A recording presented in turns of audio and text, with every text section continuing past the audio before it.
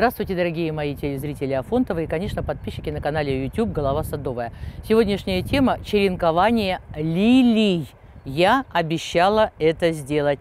И некоторые из вас очень ждут этого сюжета. Значит, для того, чтобы очеренковать лилию, а, надо выбрать побег, который не образовал еще цветочной почки, то есть бутона.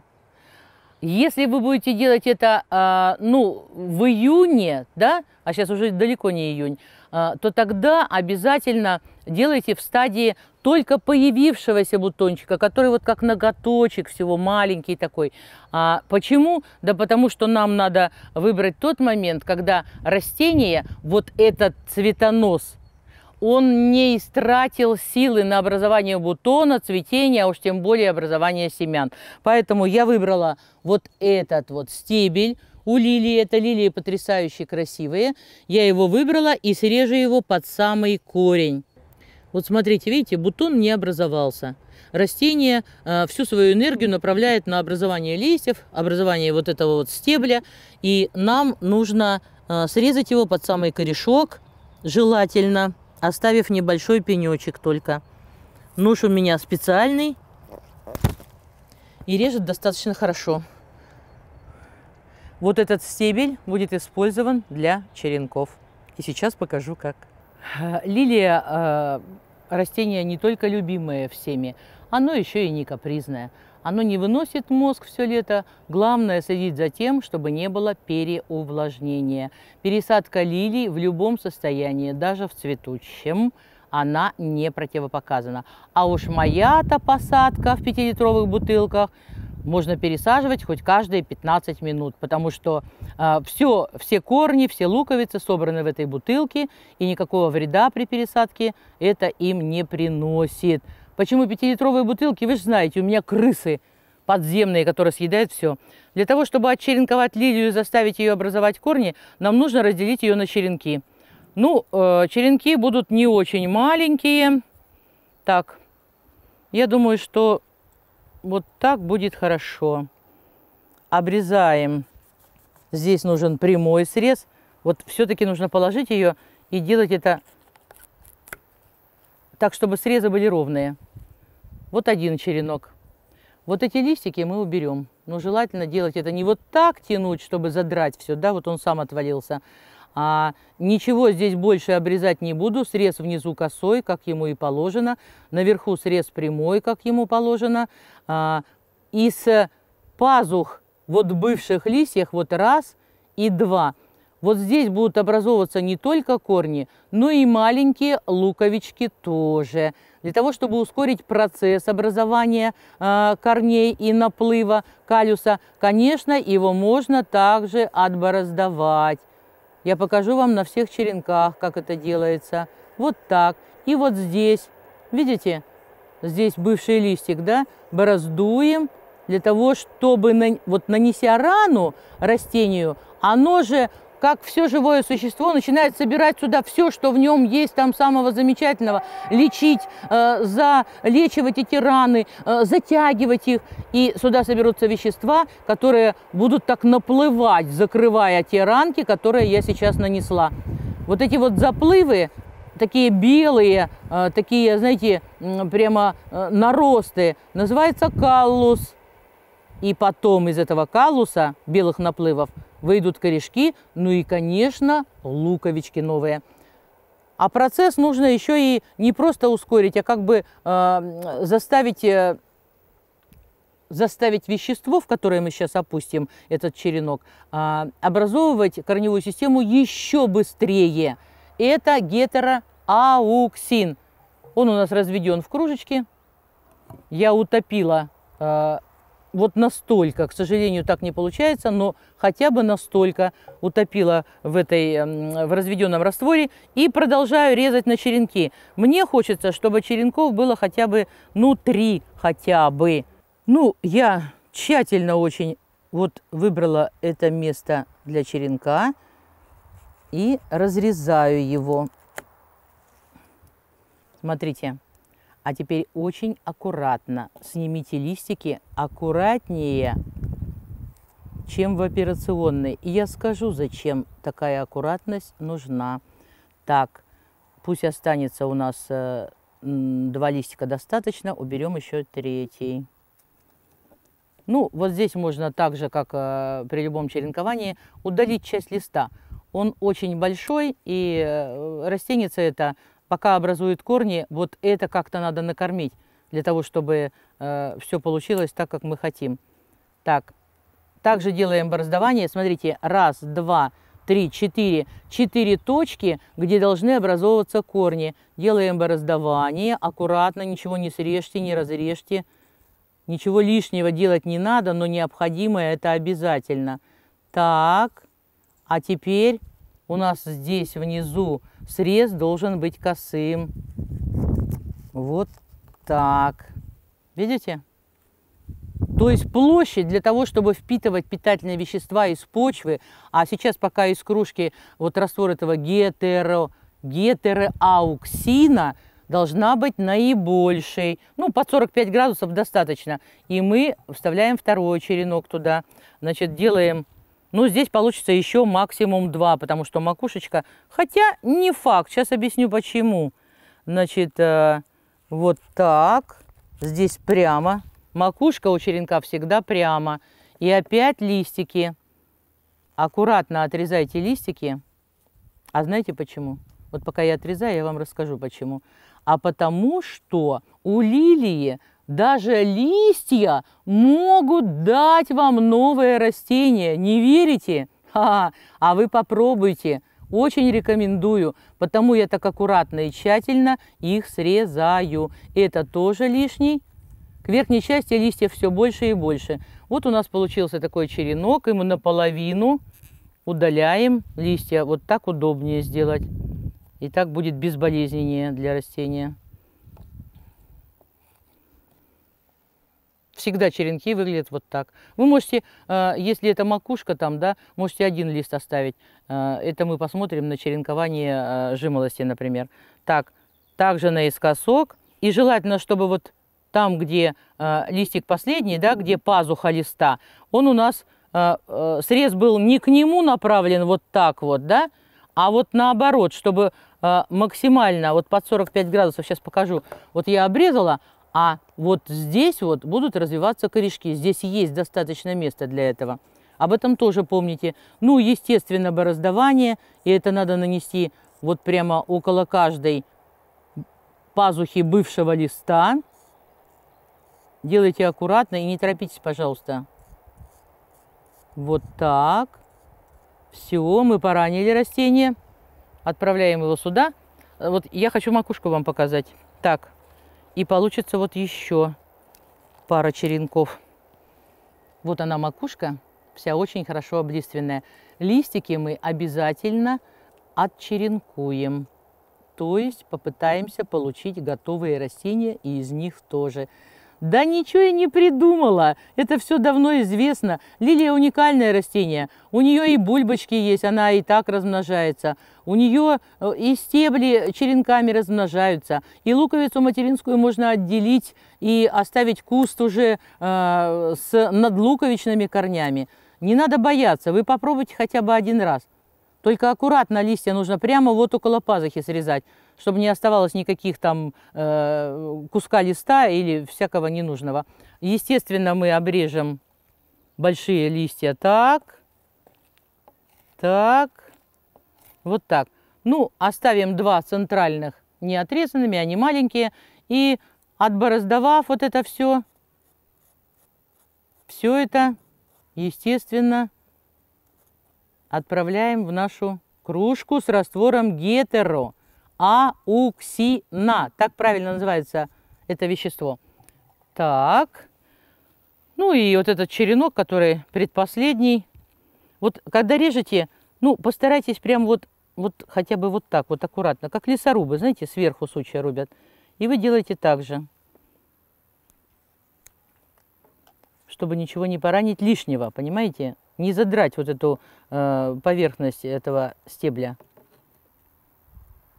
Да, работа такая нудная, но зато, э, купив лилию одну за 300 рублей, а то и более, вы получите себе Впоследствии растение совершенно бесплатно, но здесь тоже парочку листьев надо обрезать. Многовато. Угу. Ну вот так. Можно отправлять сюда. А, бороздование. Боже мой, забыла, забыла, забыла.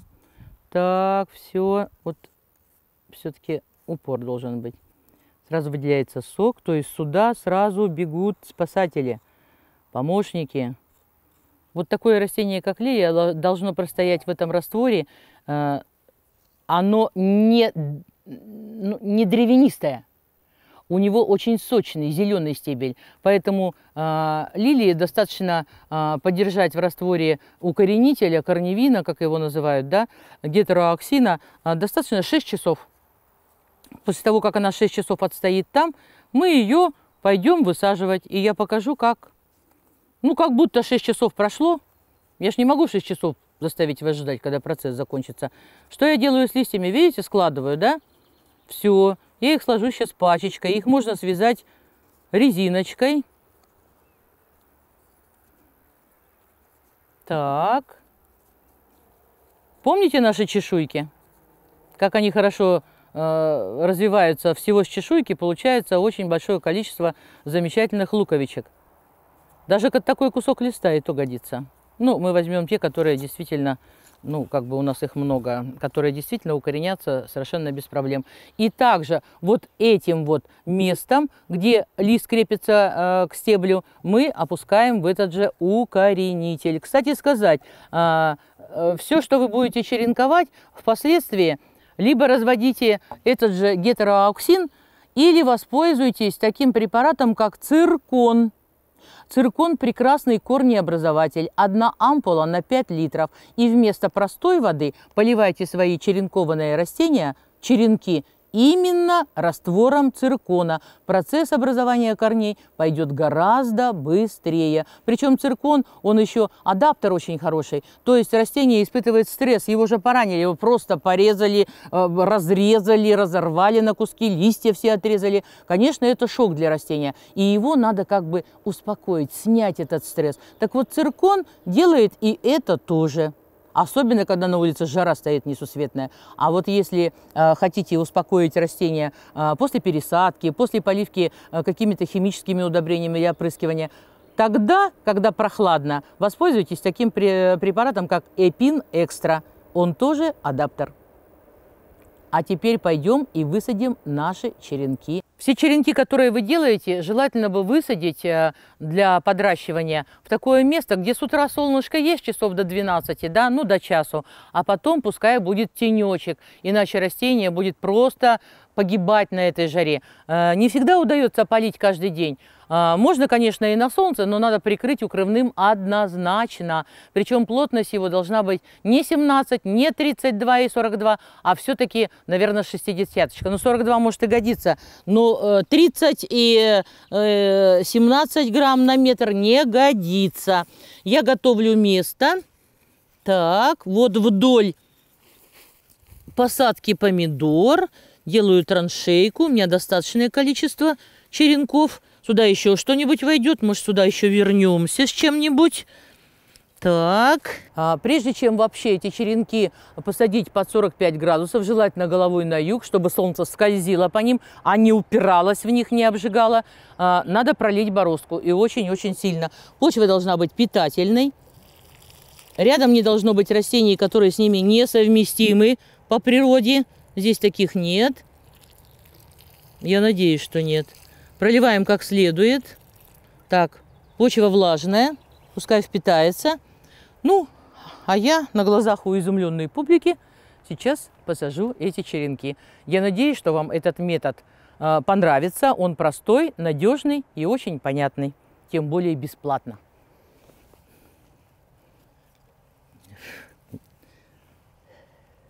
Они все готовы. Выдержите их не менее 6 часов, пожалуйста. Это поможет им адаптироваться. Но если у вас ничего нету э, из корней э, укоренителей, э, ну тогда уж без них обойдитесь. Я надеюсь, у вас тоже все получится. Просто попробуйте, и вы будете точно знать, приживутся они или нет. Не, ну а как вы хотели? Горький опыт – это самый лучший опыт. Начинаем. Так, значит, головой на юг. Так, выберем самый вот этот толстум. Вот так вот. Так, и вот этим срезом косым, посмотрите, опускаем вниз. Вот так, чтобы а, проникновение влаги было максимальным. Вдавите его туда. Вот так. Очень плотно. А теперь обожмите его влажной почвой. Сверху мы засыпем потом сухой. Берем второй черенок.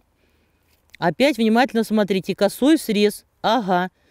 Косого среза тут как раз и нету, да? Сейчас мы его сделаем.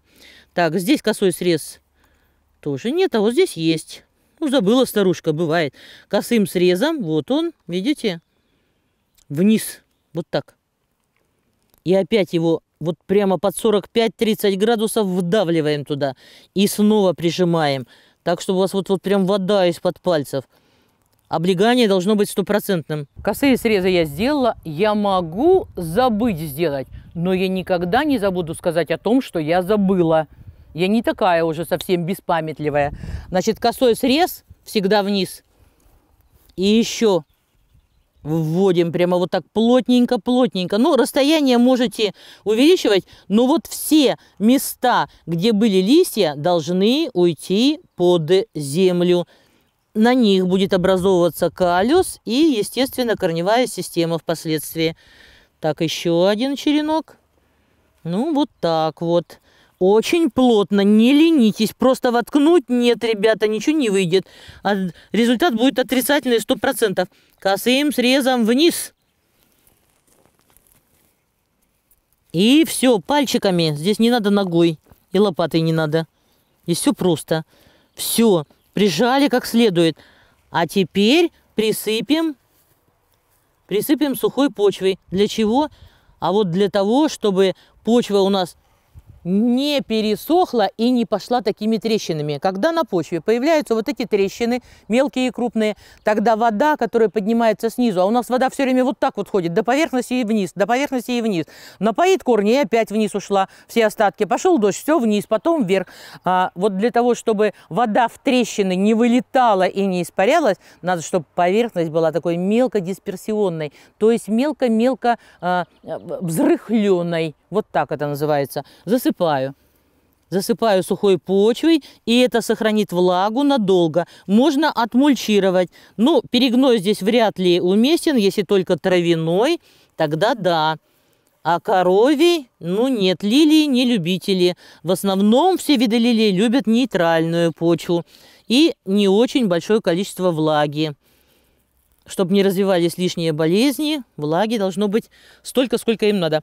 Ну, а теперь мы передвинемся вот сюда поближе.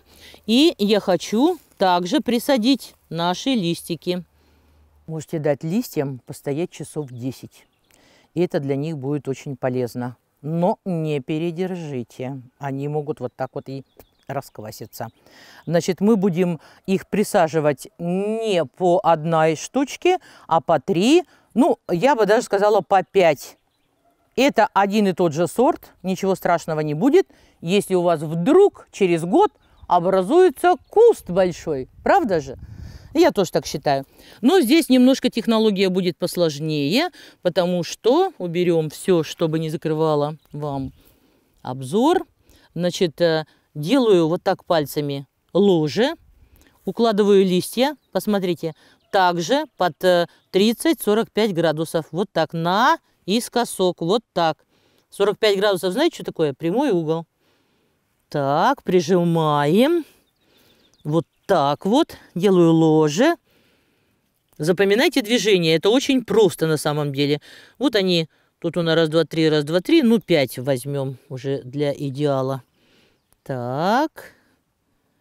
И плотно-плотно на одну третью часть листа закрываем почвой и вдавливаем, чтобы прилегание было стопроцентным. Так, делаем ложе. Вот так. И еще пять. Угу. Видите, как простенько и со вкусом, да? А в принципе, кому вообще жалко свои лилии, да возьмите вы макушки, пообрежьте пока они не зацвели. Ну, не в этом году не зацветут, ну, велика беда.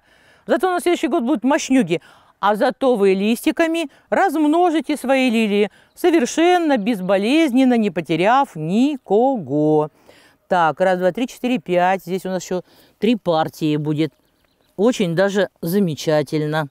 Я делаю им ложе, делаю пригорочек, чтобы они могли как бы э, полустоять, а не полулежать. Ну, здесь будет по 4, разницы нет большой. Смотрите, вот они все, да, их основание листа, оно все в почве. И вот так плотно прижимайте землей на одну треть. Зеленая часть будет работать на солнце, а вот нижняя часть, вот это вот основание, вот это, будет работать на образование корней. То же самое, что с чешуйками, практически то же самое. Так, так, смотрите, все прижато, все посажено. Теперь также засыпаем их, конечно, можно полить, но мы так плотно прижали влажной почвой, что это в принципе не требуется. Поэтому вот так из междурядья засыпем сухой землей, для того, чтобы испарение влаги было минимальным.